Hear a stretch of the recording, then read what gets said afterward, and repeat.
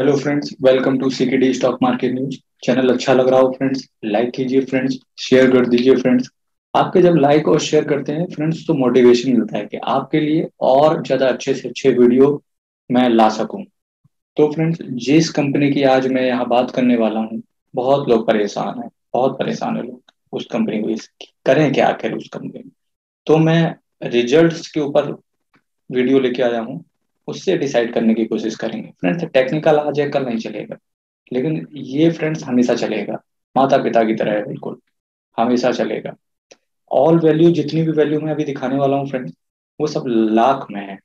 लैक्स में। और फ्रेंड्स ये आपकी आँखों के सामने रिज़ल्ट आ गया कि मैं किस कंपनी की बात करने जा रहा हूँ। अमर राजा बैटरी एमेरॉन बैटरी के नाम से। ये एक ऐसी बैटरी है जिसका नाम आपको इस नाम से बैटरी नहीं मिलेगी। आपको एमरॉन बैटरी के नाम से बैटरी मिलेगी। फ्रेंड्स ये बैटरी मैं सबसे ज़्यादा इंपॉर्टेंट क्यों बोलता हूँ? पता है? किसी भी गाड़ी चलाने वाले से आप पूछना कि पहली बार जो उसको बैटरी मिलती है, आप भी अपनी बाइक या कार खड़ी हो, उसमें देखिएगा, उसमें आपको सबसे पहले पता कौन सी बैटरी मिलेगी? एक्साइड बैटरी और जब आपकी वो जिस दिन बैटरी खराब हो ना तो आप दुकान पर लगवाने जाना कि आप दोबारा पता एमरॉन बैटरी ही लगवा के आओगे। ये रीज़न है एमरॉन बैटरी का कि इसका शेयर का प्राइस सबसे ऊपर क्यों है? क्योंकि दूसरी बार में इसका एडवर्टीजमेंट में ये कंपनी खर्चा ही नहीं करती है। ये कस्टमर के लिए ही काम करती है। फ्रेंड्स रिज़ल्ट देखिए इस कंपनी के। आपकी आँखों के सामने। तो ये मैं बात कर चुका हूँ। रेवेन्यू देख लेते हैं इसका कितना है। रेवेन्यू लगातार यहाँ तक इंक्रीज हुआ, फिर ये इंक्रीज हुआ और अचानक से थोड़ा सा स्लाइटली कम हो गया यहाँ पर। अदर इनकम अदर इनकम कितनी है? देखिए, यहाँ से ये फिफ्टी परसेंट से इस क्वार्टर में इनकम गिर गई नीचे। तो ये बहुत खराब बात है यहाँ से। कॉस्ट ऑफ़ मटेरियल देख लीजिए इनको। तो अगर इनकी इनकम गिरी है तो कॉस्ट ऑफ़ मटेरियल कंज्यूम्ड तो वो भी कम हुआ है इनका। इसका सिर्फ़ एक रीजन कम क्यों हुआ? कंजम्पशन कैसे कम हो गया?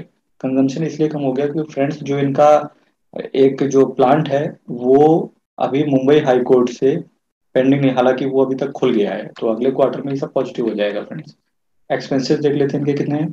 एक्सपेंसेस आपने देख लिया कि अगर इनकम कम हुई है तो एक्सपेंडिचर भी उतने से ही कम हो गया है इनका। ये देख रहे हैं फ्रेंड्स ये तरीका होता है। टोटल टैक्स एक्सपेंस देखिए, अगर इनकम कम हुई है फ्रेंड्स तो टैक्स एक्सपेंस भी स्लाइटली उसी रेशियो में कम हो गए हैं। तो अभी इनका प्रॉफिट इम्पैक्ट नहीं हुआ है। अब प्रॉफिट और loss for the period from continuing operation जितने भी ऑपरेशन चल रहे हैं, यहाँ से इनका प्रॉफिट देख लेते हैं फ्रेंड्स आपकी स्क्रीन के सामने। ये देखिए, छह हज़ार, बीस हज़ार, उन्नीस हज़ार, अठारह हज़ार और बारह हज़ार। फ्रेंड्स यही वो मनहूस समय था जब आया, जब केस लगा। उसके बाद जब केस लगा फ्रेंड्स तो ये वो समय था जब इसका केस हाई कोर्ट ने इनका जो प्लांट था वो सीज कर दिया और यहाँ पे ये क्वार्टर में बहुत ज़्यादा इम्पैक्ट आया। तो फ्रेंड्स अभी भी कोई डरने की बात नहीं है शेयर पे। अब फ्रेंड्स कुछ लोग क्या होंगे कि पाँच परसेंट गिरा, एक परसेंट गिरा, लोगों ने एवरेज कर लिया उसका। नौ सौ रुपये में खरीद के, पता लगा आठ सौ पचास में सारी रकम खरीद के एवरेज कर लिए। फ्रेंड्स इस तरीके से एवरेज नहीं किया जाता। एवरेज करने का रीज़न होता है कि आपको अपना लॉस सबसे पहले डिटरमाइन करना पड़ेगा कि आप कितना लॉस बियर कर सकते हैं।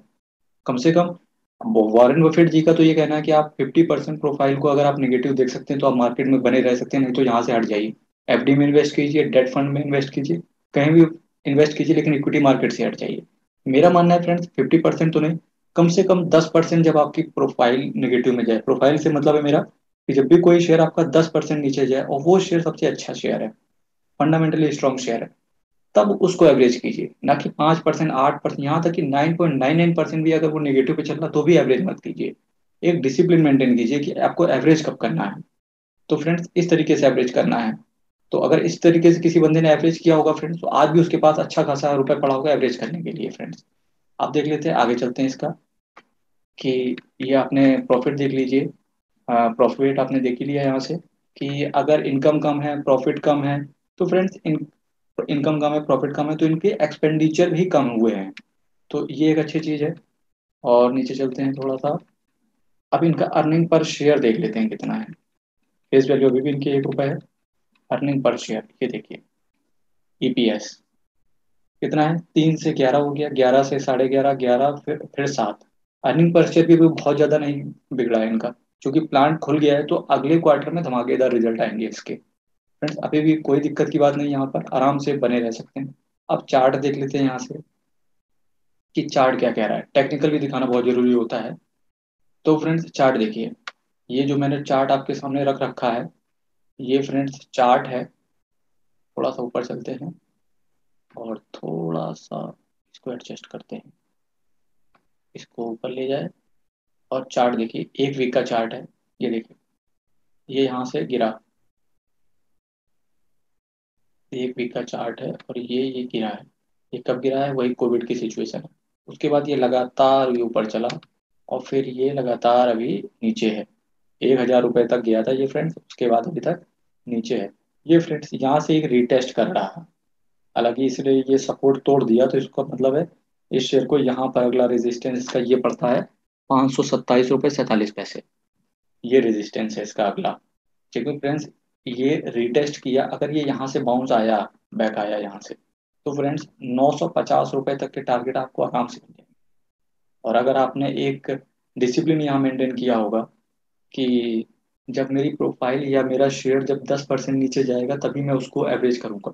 तो आज भी रुपये आपके पास पड़ा होगा। फ्रेंड्स एवरेज कीजिए यहाँ से। कोई दिक्कत की बात नहीं फ्रेंड्स ये शेयर सबसे बेस्ट शेयर है फ्रेंड्स बने रहिए फ्रेंड्स बहुत बहुत धन्यवाद आपका।